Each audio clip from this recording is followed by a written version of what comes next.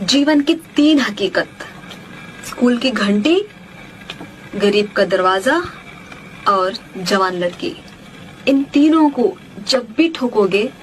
तो बाहर निकलेंगे बच्चे ही